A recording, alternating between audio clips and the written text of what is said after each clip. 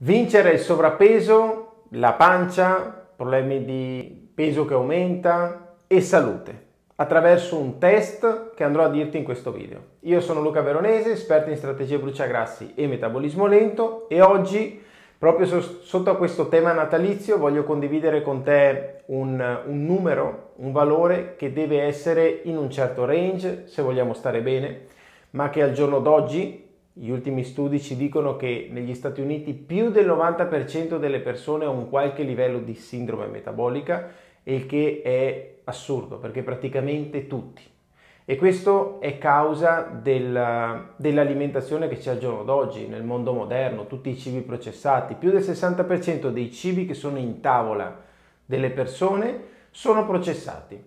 E questo è il motivo per cui tanti problemi poi a catena vengono fuori. Oggi voglio darti um, un test da fare che puoi farlo alle persone a te care, alle persone che sono vicino a te, Uh, se sei in questo periodo natalizio, probabilmente tanti familiari, spingerli a mangiare quella fetta di panettone in più, bere quel bicchiere in più, mangia che tanto non succede niente, dai, mangia un'altra fetta che tanto non succede niente. In realtà questo non è amare una persona, è volergli male eh, amare una persona significa fare la cosa migliore per lui, quindi in realtà se abbiamo persone anziane, se abbiamo persone di una certa età, se abbiamo persone con uno stato fisico già... Mm, spingerli a mangiare mm, non è buono, non è buono sotto ogni punto di vista e soprattutto non, non ci stiamo prendendo cura di quella persona. Oggi, se vuoi creare scandalo al tuo pranzo di Natale, o il giorno dopo, porti con te un glucometro e fai un test. Ora, cosa si è scoperto e cosa si sa? Noi abbiamo dei livelli di zucchero nel sangue che vanno, dovrebbero andare sempre in un range che è tra 130 e 70, ok? Milligrammi per decilitro. E quando noi mangiamo qualcosa succede questo, fa una curva e poi Qua, quando sono passate due ore, torna esattamente qua. Mi viene fame, mangio di nuovo e fa un'altra curva e così via. Questo può essere definito normale e mai la glicemia di una persona dovrebbe essere superiore a 130, né a digiuno ovviamente, ma neanche durante il giorno. Perché? Cos'è un diabetico? Un diabetico è una persona che ha livelli nel sangue eh, livelli nel sangue di zuccheri più alti di 130. Perché gli si danneggiano i reni? Perché un diabetico finisce in dialisi? Perché ha una glicemia sopra 130? Perché eh, gli amputano i piedi? Perché una glicemia sopra 130? Perché parliamo già di diabete di tipo 3, di Alzheimer, di demenza? Perché queste persone hanno livelli di iperglicemia costante e qui non te ne accorgi, non lo sai. Quindi la, la prova del 9, la verità assoluta, se quel piatto di riso che effetto mi fa? Lo chiedo a Tizio, lo chiedo a Caio? No, lo chiedo a un glucometro. Lo chiedo a un glucometro che mi dà una risposta certa. Per esempio per me il riso è come se mangiassi zucchero. Se mangio zucchero, faccio il test e mangio il riso, faccio il test praticamente quasi uguale. Quindi per me il riso è un alimento che mi, mi dà un eccesso di glucosio nel sangue. Ora, cosa potrebbe succedere in questi giorni di festa, in questi giorni di abbuffate? In realtà, se una persona metamo- metabolicamente sta bene, non dovrebbe succedere niente. Ma stando ai numeri, le persone metabolicamente sono devastate, sono letteralmente devastate. Quindi capiamo da una cattiva gestione degli zuccheri se c'è qualcosa che non va. Come si fa questo test? Molto semplice. Prendo con un glucometro, poi vi spiegherò come, una misurazione prima di mangiare e dovrebbe essere 75, 76, 80, preferibilmente meno di 85 a digiuno. A digiuno, dopo 8 ore di digiuno al mattino, dovrebbe essere preferibilmente meno di 85. Questo è quello che dicono le migliori università al mondo.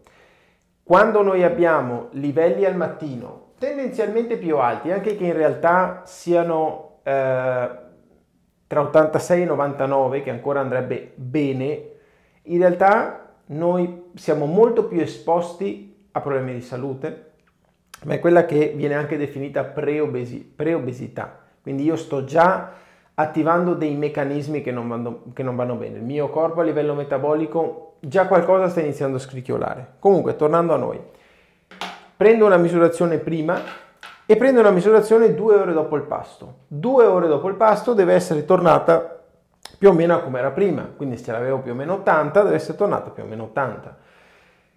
Cosa succede e cosa succederà a tante persone? Succederà che prendono, eh, fanno il pranzo, mangiano eh, e succederà questo, sale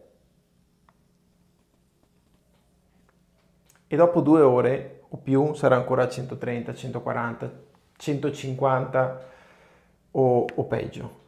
E questo è già un bel problema metabolico.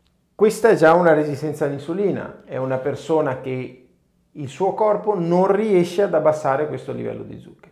Quindi questo test è vitale, è vitale per capire come sto a livello metabolico, è vitale per capire che scelte alimentari sto facendo, che stile di vita sto facendo. Ora prendo un glucometro, uno qualsiasi, uno qualsiasi, e prendo le striscette, ok, molto facile, mi lavo le mani prima del, del test, mi lavo le mani prima del test, io me lo preparo già così, quando spingo dentro, generalmente sono quasi tutti uguali, si accende, buco,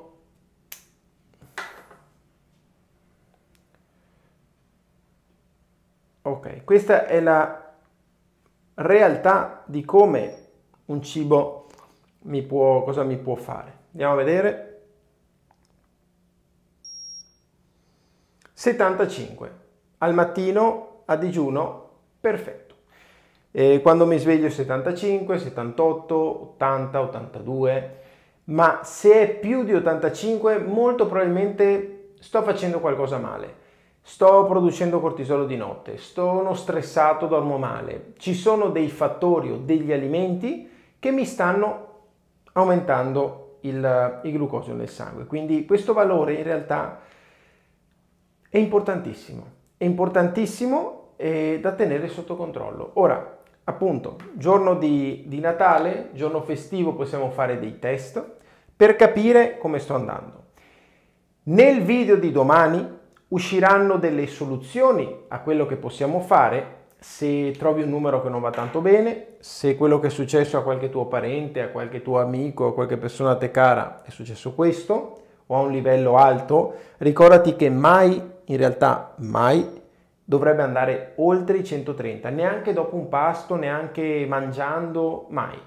Il valore normale è tra 130 e 70, meno no perché sarebbe un'ipoglicemia e sarebbe comunque indice di, una, di un problemino metabolico, di una gestione degli zuccheri che non va bene.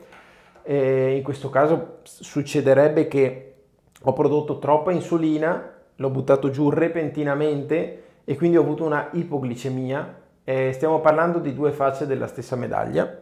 E quindi niente, questo video spero ti possa essere stato d'aiuto. Fai questo test, fallo ai tuoi cari, fallo ai tuoi genitori, fallo ai tuoi fratelli, fallo alle tue sorelle. E nel video di domani faremo uscire una parte 2 di questo video con un po' di soluzioni utili, perché sennò sarebbe inutile questo video. E uh, niente, iscriviti al canale, lascia un commento, fammi sapere qui sotto che cosa è uscito e noi ci vediamo qui sempre tre volte a settimana.